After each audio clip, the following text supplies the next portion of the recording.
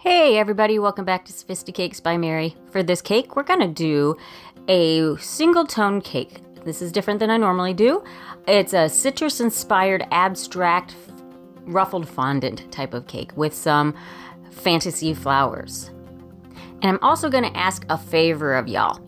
Um, I know this is summer and this is when everybody's busy, and I'm starting to notice my numbers drop a little bit when it comes to views, and I understand everybody's busy. But if you like what you see, please take a moment to subscribe, like, um, and and if you want to share my videos with somebody that you know that you think would like them also, feel free to share this with them, and I would be forever grateful. Now let's get to the video.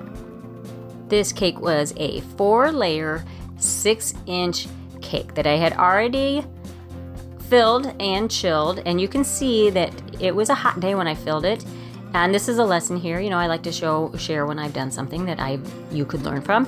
Um, it shifted a little bit tilted a little to the side when I transferred it to my refrigerator to chill. Now it is a subtle lean so instead of trying to fix it I just decided I was going to try to correct it with buttercream. So what I do is I put less buttercream in the spots that are sticking out and more in the spots that are, are the sides that are dented in. Like if uh, the bottom is angled out to the left and the top would be angled the other way, then I fill in on the top. Does that make sense? Just to kind of level it all out there. And I think it worked pretty well. You, I don't think you would know if I hadn't told you that I had corrected that. If you didn't see the steps of me correcting it, you, you probably would not know. And then go ahead and pull that lip into the middle. And I used uh, my Crusting American buttercream that I will put a link to in the description box.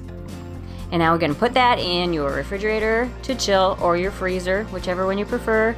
Um, it depends on if you are needing to use it right away. You could do 10 minutes in the freezer or 20 minutes in the refrigerator, and then you're ready to attach your fondant.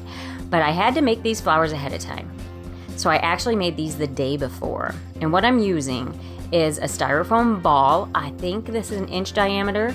And then I have some gum paste that I, um, I have enough that it is a ball of the same size, if not a little larger and you're gonna flatten that disc out in your palm. Add a little bit of water, don't do too much because if you add too much, it's just gonna slide around on that styrofoam ball.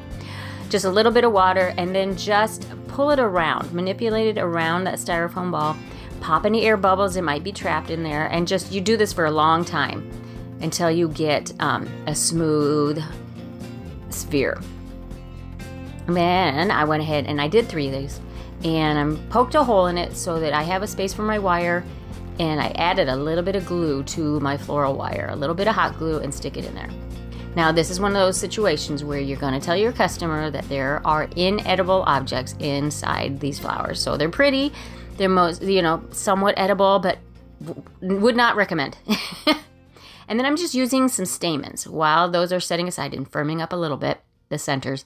And I did one whole section. When you buy these stamens, they come up in bundled up sections.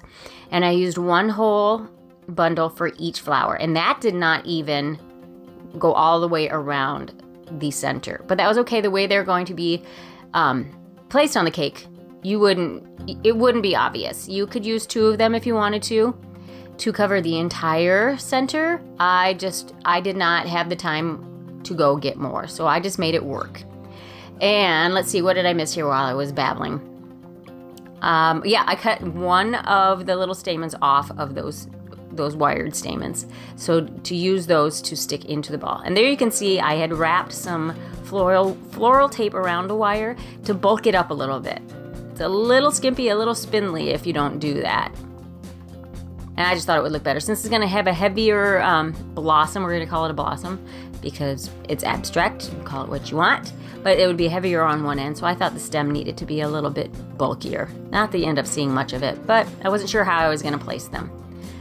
And then I am just using some edible glue, which is just a little bit of gum paste and water that I had left to sit for about mm, an hour, half hour to an hour, so it dissolves a little bit. Stick one end in that and then stick it into your sphere. I would recommend using a sharp tool or a toothpick or even a skewer to kind of a skewer might be too wide but something narrow that you could stick into that fondant or that gum paste before you put the stamens in there, just so you're because those stems or the the wire end of the stamens is pretty fragile and they like to bend easy. Now just go ahead and set those aside to dry. Like I said, I did mine overnight. And then I'm just using regular fondant. I think I used fondant this time, or Wilton fondant this time, because I wanted to use a fondant that's going to have some some rigidity to it. Homemade marshmallow fondant works, but it seems to be it's a little softer. So I find that the pre-made fondant brands work better for this type of a technique. Um, even satin ice, but honestly, any of the the cheaper fondants work better for this type of a design. I'm sorry, they just do. and then I just rolled it out and cut it to different sizes and shapes. I have a bunch of these that I made ahead of time before I attached them to the cake, and I just used my small rolling pin to thin out those edges just a little bit. You don't have to do that part. I'm just so used to doing it that I just just did it. Um, if you want more, less of a ruffled appearance on on the edges of these, um, we'll call them petals, um, then I wouldn't do this part. But I did want to have these pieces rolled out and um, set aside for probably, oh, half an hour would be good before you attach them to the cake. Just so they dry out just a little bit so that um, the, the ruffled parts don't kind of get softened. You want them to hold their shape. And then I just rolled out a little piece and added it to the top. I think I just sprayed it with water. You could brush with water if you want. You can use, um, you can even use an edible glue or you can use some shortening or you can use some simple syrup. Any of those techniques will work to get the fondant to stick to the top. And honestly, if you have brought it out from the refrigerator and it's humid or the freezer, then um, the humidity that will form on the outside of the buttercream will get it to stick just fine. But I just went ahead and made sure that all of it was covered. And I'm doing the same thing for the side here, just a little bit of water.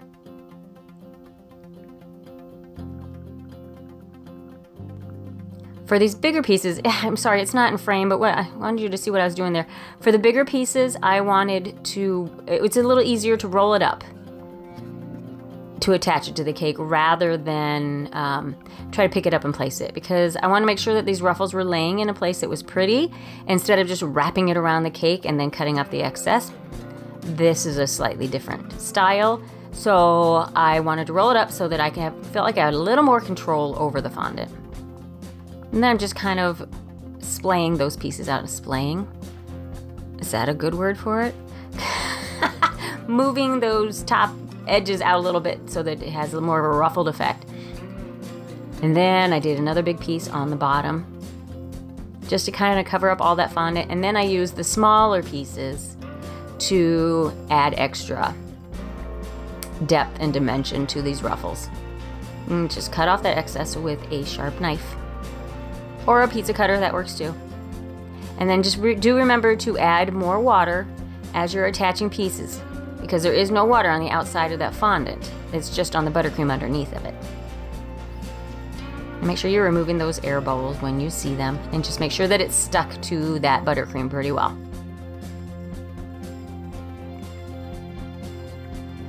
And I do try to kind of smooth down those edges that are underneath other pieces of fondant a little bit so that you don't see a lot of ridges. But that's kind of hard to avoid so much.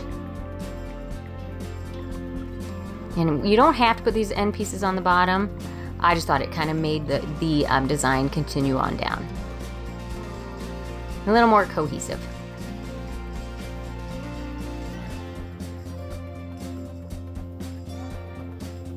And just play around with it until you get it where you want it.